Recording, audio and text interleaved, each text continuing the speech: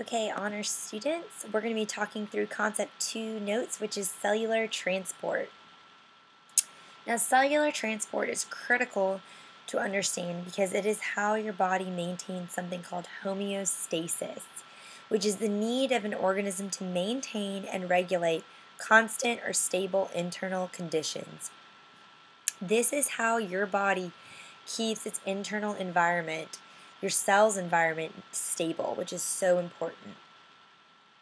So, your body does this in many ways. It regulates temperature, pH, concentration of materials and nutrients, and it tries to maintain these levels in really, really narrow margins.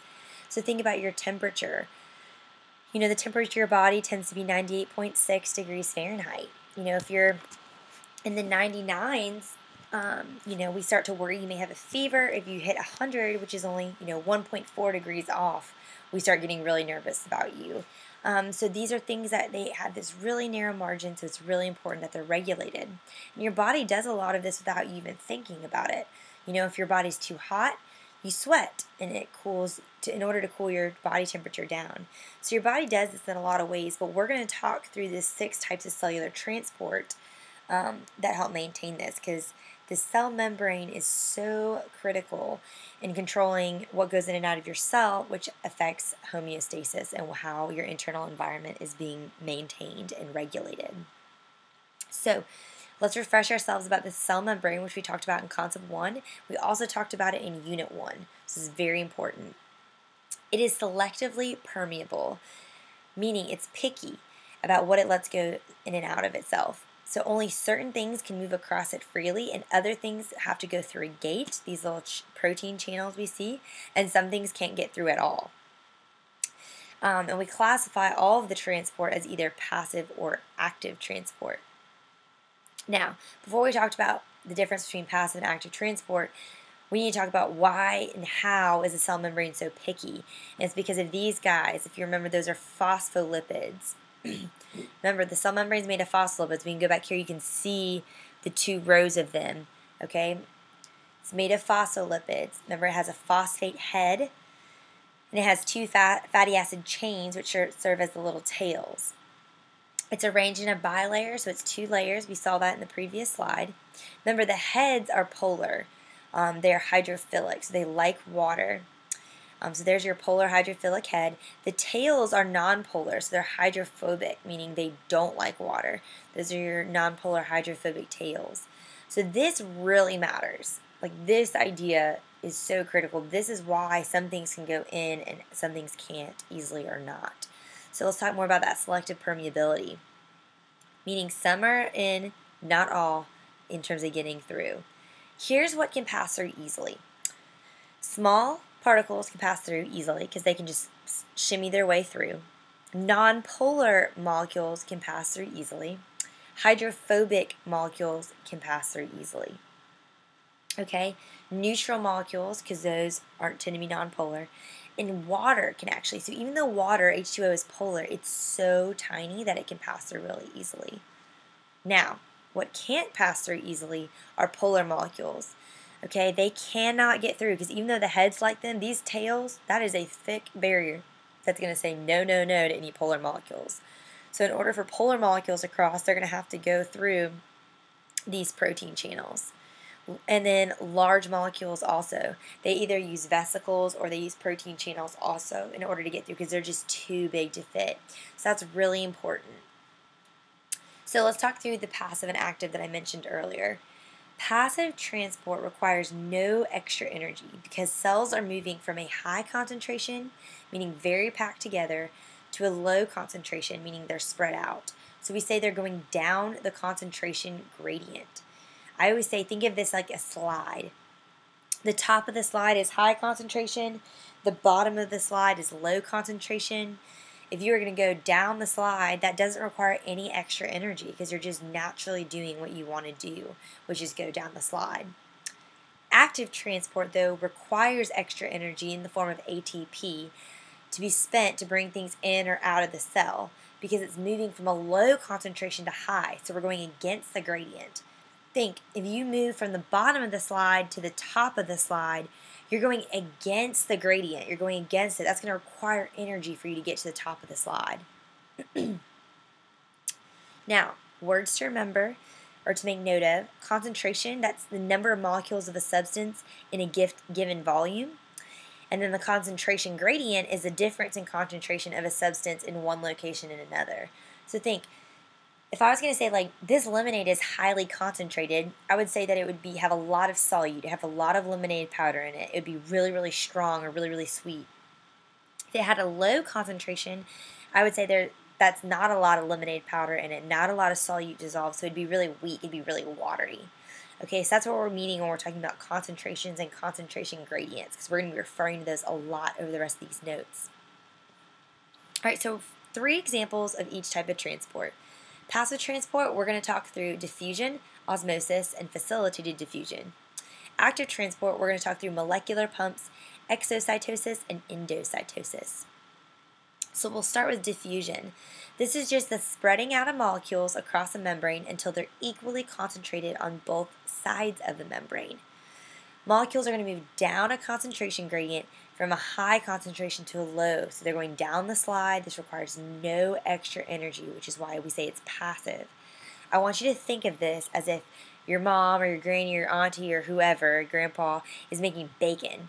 The smell in the kitchen is super strong. It's very high concentration.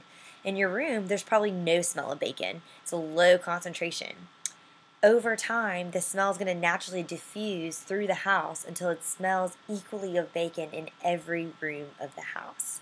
Okay, that's what we're thinking and we're talking about diffusion. It's just naturally, it's passively happening. Now, real example, like actually in your body, is oxygen and carbon dioxide. These two naturally diffuse in and out of your cells so that your cells are constantly oxygenated in the way that they need to in order for you to be breathing and to be your body to be running. Now, I love pictures, so let's look at a picture. This dotted line represents our selectively permeable cell membrane. You see we have a high concentration of particles on this side and a low concentration here. So if this is diffusion, we would expect them to move this direction, and over time, they would balance out on either side of the cell membrane. Facilitated diffusion is a slight bit different, okay, a little bit different. We're looking at a transport protein that's going to act as a protein channel to help facilitate the diffusion of molecules that normally can't pass through the cell membrane. So large molecules and polar molecules are going to use this. Okay, so we're still going down the gradient, still going high to low. We just have to have a little extra support in doing that. We have to be facilitated in doing that. Doesn't require extra energy, it just uses a protein channel. So an example is glucose or sugar is a large molecule that goes through a transport protein or protein channel, and sodium and salt is a polar molecule that does this. So your picture, same picture, we just have this protein channel now. And gonna, things are going to move through it until over time it's balanced on either side. So same picture, we're just adding this protein channel to it. All right, osmosis gets a little bit trickier, so listen very carefully. Osmosis is specifically the diffusion of water across the cell membrane. So water molecules move down the concentration gradient from high concentration of water to an area of low concentration of water. All right, pay very close attention to this picture.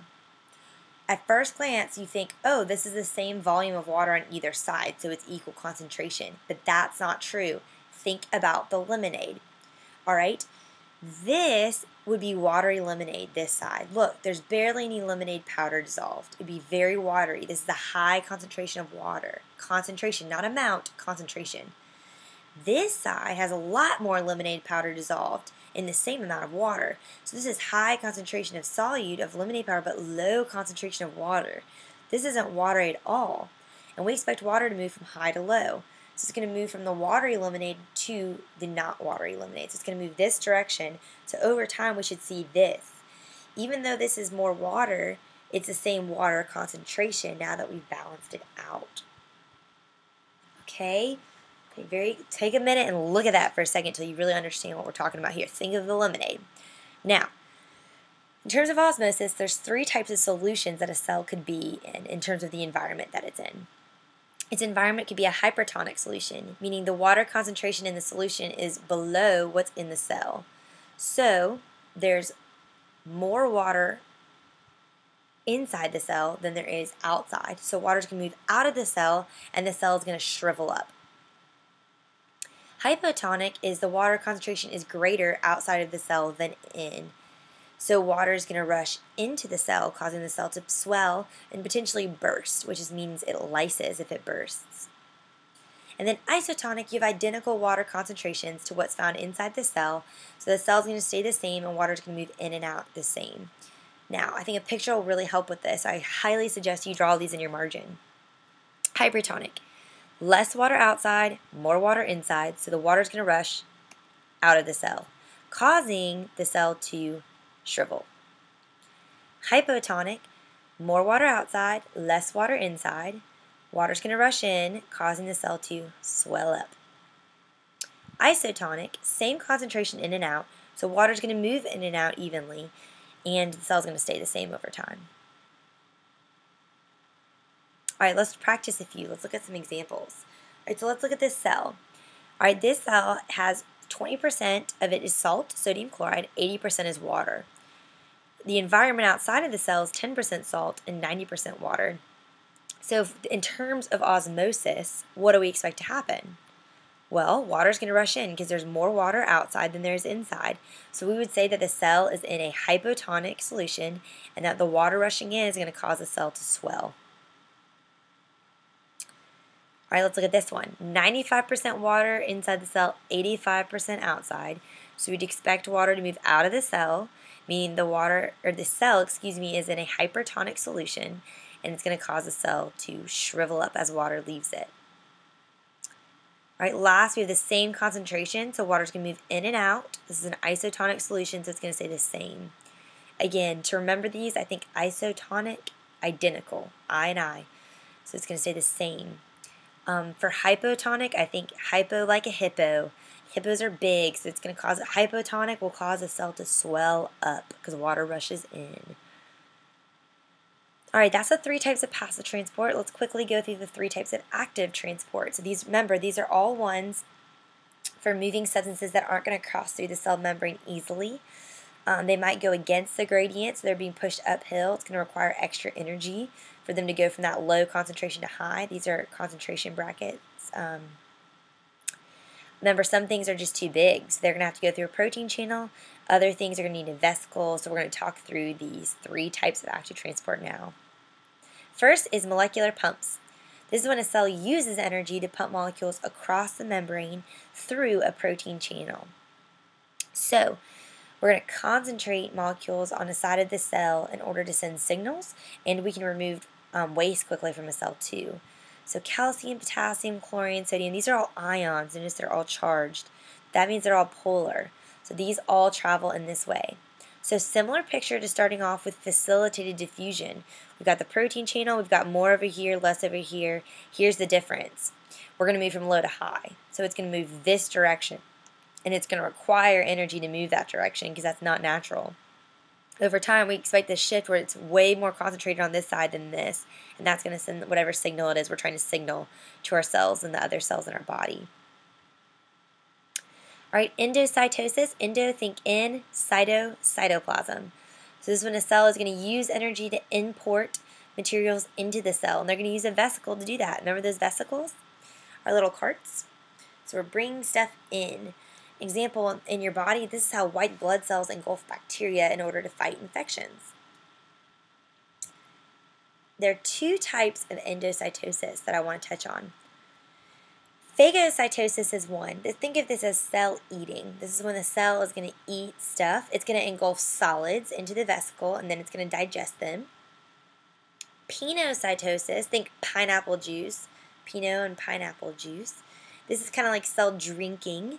The cell's going to engulf liquids into a vesicle and digest them. So just two types of things, either phago for digesting solids, Pinot for digesting liquids. And last but not least is exocytosis. So we're using energy to export things out of the cell using a vesicle. So they're going this direction. This is how nerve cells release neurotransmitters to pass signals to your brain. And last thing I want you to do is I want you to take a minute and fill in this chart. Okay, we're going to have the six types of transport.